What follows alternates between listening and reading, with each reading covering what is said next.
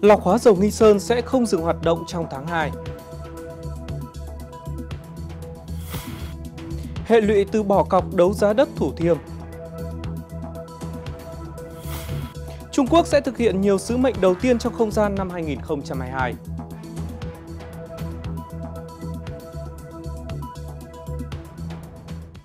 Kính chào quý vị và các bạn đang theo dõi bản tin nhịp sống hôm nay của truyền hình Đài Tiếng Nói Việt Nam. Vừa rồi là những nội dung chính sẽ có trong bản tin.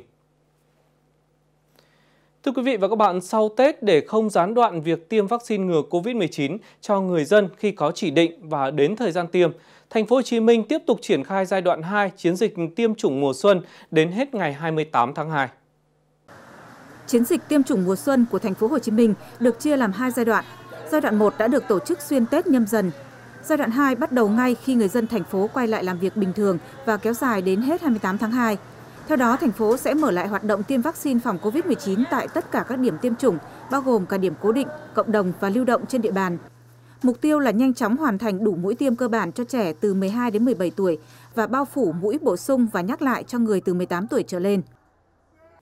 Bộ Công Thương vừa có thông tư về việc tạm ngừng kinh doanh, tạm nhập tái xuất mặt hàng khẩu trang y tế, găng tay y tế và bộ trang phục phòng chống dịch. Đối với những lô hàng khẩu trang y tế, găng tay y tế và bộ trang phục phòng chống dịch đã làm thủ tục hải quan tạm nhập từ ngày 1 tháng 1 đến trước ngày 15 tháng 3 năm 2022, được tiếp tục thực hiện tái xuất theo quy định tại Nghị định 69. Quy định này áp dụng đối với thương nhân tham gia hoạt động kinh doanh tạm nhập tái xuất hàng hóa, các tổ chức cơ quan quản lý hoạt động kinh doanh tạm nhập tái xuất. Sở Y tế Thành phố Hồ Chí Minh vừa có văn bản khẩn gửi giám đốc các đơn vị trực thuộc về việc chấn chỉnh tổ chức khám sức khỏe hậu COVID-19 sau khi có phản ánh về việc nhiều phòng khám, khoa, trung tâm điều trị di chứng hậu COVID-19 tăng giá dịch vụ. Theo đó, Sở Y tế Thành phố Hồ Chí Minh yêu cầu các đơn vị không tăng giá các dịch vụ khám bệnh chữa bệnh, kể cả các dịch vụ khám bệnh chữa bệnh theo yêu cầu không lạm dụng các chỉ định cận lâm sàng khi khám sức khỏe cho người bệnh hậu COVID-19 trong trường hợp không cần thiết. Trường hợp người bệnh lựa chọn dịch vụ khám chữa bệnh theo yêu cầu, thu giá khám chữa bệnh theo yêu cầu đã thực hiện kê khai với Sở Y tế và thực hiện công khai giá để người dân lựa chọn. Phó Thủ tướng Chính phủ Lê Văn Thành vừa có ý kiến về việc giải quyết tình trạng ùn tắc hàng hóa tại các cửa khẩu biên giới phía Bắc Cụ thể, yêu cầu các bộ ngành liên quan, Ủy ban Nhân dân các tỉnh, thành phố trực thuộc Trung ương theo chức năng nhiệm vụ được giao, tiếp tục thực hiện khẩn trương, nghiêm túc, đầy đủ ý kiến chỉ đạo của lãnh đạo chính phủ về tháo gỡ khó khăn cho hoạt động xuất nhập khẩu hàng hóa qua các cửa khẩu trên địa bàn các tỉnh biên giới phía Bắc, xử lý kịp thời, nghiêm minh theo đúng quy định đối với các hành vi lợi dụng tình trạng ùn tắc hàng hóa để vi phạm pháp luật. Những ngày gần đây trên địa bàn tỉnh An Giang xuất hiện nhiều cửa hàng kinh doanh xăng dầu đóng cửa, tạm ngưng hoạt động với lý do hết hàng, nguồn cung khan hiếm gây bức xúc cho dư luận và khó khăn trong công tác quản lý nhà nước. Cơ quan chức năng tỉnh An Giang đang kiểm tra và sẽ xử lý nghiêm nếu phát hiện hành vi găm hàng để trục lợi. Theo Cục Quản lý Thị trường tỉnh An Giang, toàn tỉnh An Giang có 10 doanh nghiệp đầu mối, 16 tổng đại lý, 489 cửa hàng kinh doanh xăng dầu. Những ngày qua có khoảng 23 cửa hàng kinh doanh xăng dầu đóng cửa, trong đó có tới 17 cửa hàng thuộc hệ thống của Tổng công ty Dầu Việt Nam. Nguyên nhân đưa ra là cửa hàng hết xăng, nguồn cung cấp từ các tổng đại lý không kịp thời. Một số khác mở cửa hoạt động nhưng chỉ bán xăng E5 và dầu bởi nguồn cung xăng A95 và A92 rất hạn chế. Với trách nhiệm của quản lý thị trường sẽ là xử lý nghiêm, không có dùng cấm, không có rào cản bất cứ doanh nghiệp đó là ai cố tình găm hàng hoặc là, là à, nâng giá bất hợp pháp để mà trục lợi thì sẽ là kiên quyết xử lý nghiêm. Ngành chức năng tỉnh An Giang đang tăng cường công tác kiểm tra hoạt động kinh doanh xăng dầu để kịp thời phát hiện và kiểm tra xử lý nghiêm các trường hợp có dấu hiệu đầu cơ, găm hàng, tăng giá bất hợp lý. Trước thông tin các cửa hàng kinh doanh xăng dầu tại một số tỉnh miền Tây ngưng hoạt động do thiếu hàng ngày 9 tháng 2 ghi nhận tại thành phố Cần Thơ, các cây xăng có đầy đủ xăng dầu cung ứng cho thị trường, không có điểm kinh doanh nào đóng cửa hoặc hạn chế bán hàng cho khách. Theo lãnh đạo công ty xăng dầu Tây Nam Bộ thuộc Tập đoàn Xăng dầu Việt Nam Petrolimex, đơn vị này đang phân phối xăng dầu cho 4 tỉnh thành phố tại khu vực đồng bằng sông Cửu Long, gồm Cần Thơ, Hậu Giang, Sóc Trăng và Bạc Liêu với số lượng khoảng 100 cửa hàng. Doanh nghiệp này cam kết cung ứng đầy đủ xăng dầu phục vụ nhu cầu sản xuất tiêu dùng, an ninh quốc phòng trên địa bàn. Công ty có một tổng kho trữ lượng là 90.000 mét khối, ờ, đáp ứng đầy đủ phục vụ cho các công ty tuyến sau của miền Tây. Ờ, với trữ lượng đấy thì ờ, ờ, tính ra so với cái quy định của của Bộ Công Thương, quy định 83 của Bộ Công Thương thì đáp ứng được trên 30 ngày dự trữ của khu vực. Theo Cục Quản lý Thị trường thành phố Cần Thơ, qua kiểm tra, phần lớn các cửa hàng kinh doanh xăng dầu vẫn đảm bảo hoạt động, duy trì cung ứng hàng hóa phục vụ người dân, không có hiện tượng đầu cơ găm hàng chờ tăng giá.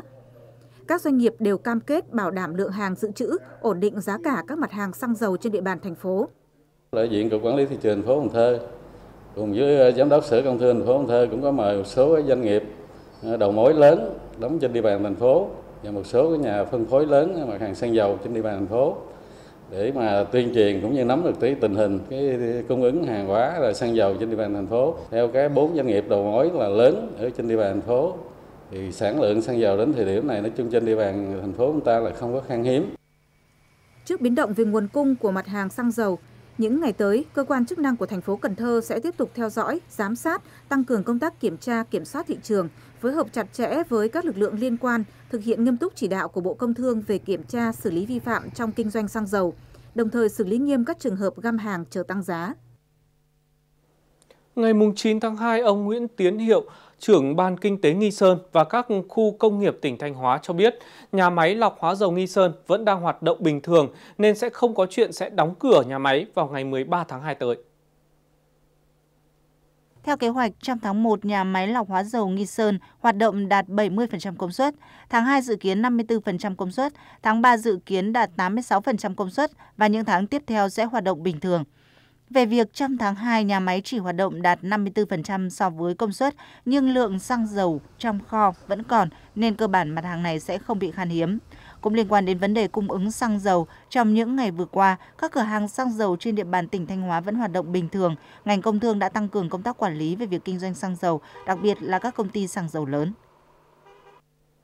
Tròn 2 tháng sau phiên đấu giá 3 lô đất tại khu đô thị mới Thủ Thiêm vào ngày 10 tháng 12 năm 2021, sự kiện này vẫn còn nóng trên các phương tiện truyền thông lẫn trên thị trường bất động sản khi đã có hai doanh nghiệp trúng thầu chính thức bỏ cọc. Đã có nhiều nhận định đây là hành vi tiêu cực trong đấu giá đất, có yếu tố thổi giá và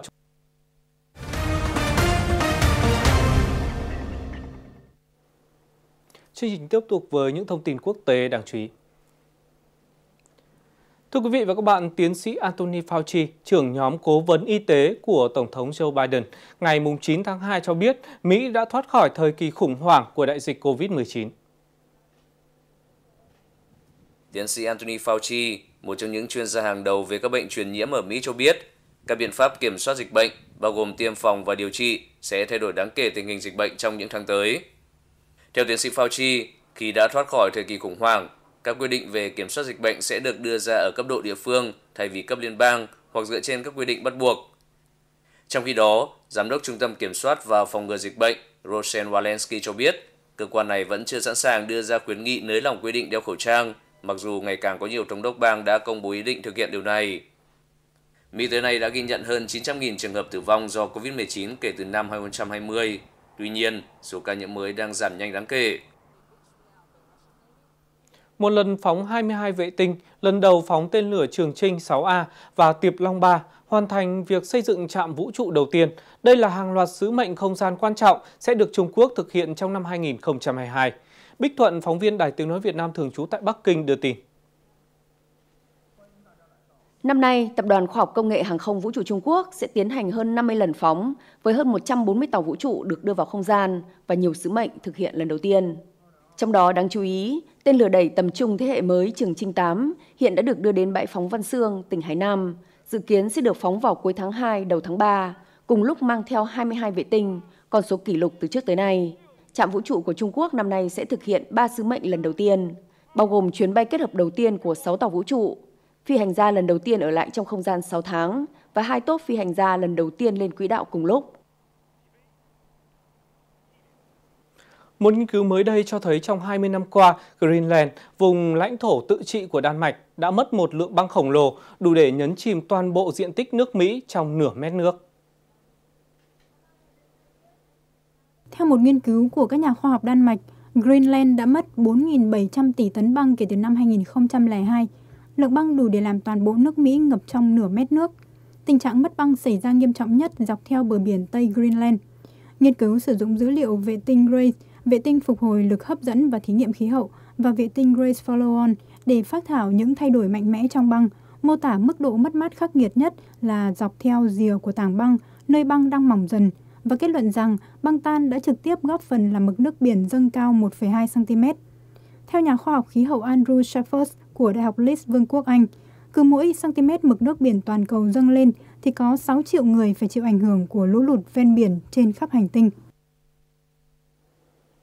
Chuyển sang các thông tin về thời tiết. Theo Trung tâm Dự báo Khí tượng Thủy văn Quốc gia, miền Bắc tiếp tục chịu ảnh hưởng của đợt không khí lạnh nên trời vẫn rét, trưa chiều giảm mưa. Nam Bộ tiếp tục thời tiết nắng nóng, chiều tối có thể xuất hiện mưa trái mùa. Và ngay sau đây sẽ là những thông tin dự báo thời tiết chi tiết các địa phương trên cả nước. Thông tin này cũng sẽ khép lại bản tin của chúng tôi ngày hôm nay. Cảm ơn sự quan tâm theo dõi của quý vị và các bạn. Xin kính chào và hẹn gặp lại.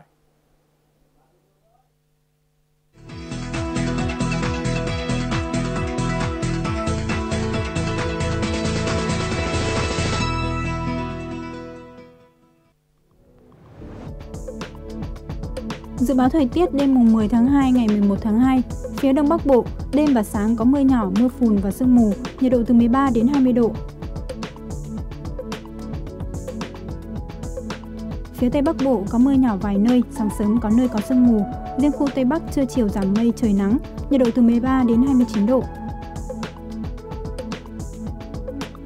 Các tỉnh từ Thanh Hóa đến Thừa Thiên Huế có mưa vài nơi, sáng sớm có sương mù và sương mù nhẹ dài rác, Riêng phía Nam trưa chiều giảm mây trời nắng, nhiệt độ từ 14 đến 26 độ. Các tỉnh từ Đà Nẵng đến Bình Thuận, phía Bắc đêm có mưa, mưa rào rải rác, ngày có mưa vài nơi. Phía Nam đêm không mưa, ngày nắng, nhiệt độ từ 23 đến 33 độ. Khu vực Tây Nguyên, chiều tối và đêm có mưa rào và rông vài nơi, ngày nắng, nhiệt độ từ 19 đến 32 độ. Khu vực Nam Bộ, Chiều tối và đêm có mưa rào và rông vài nơi, ngày nắng, nhiệt độ từ 26 đến 35 độ. Thành phố Hồ Chí Minh có mưa rào và rông rải rác, nhiệt độ từ 26 đến 34 độ. Thủ đô Hà Nội, đêm và sáng có mưa nhỏ, mưa phùn và sương mù rải rác, trời rét, nhiệt độ từ 13 đến 20 độ.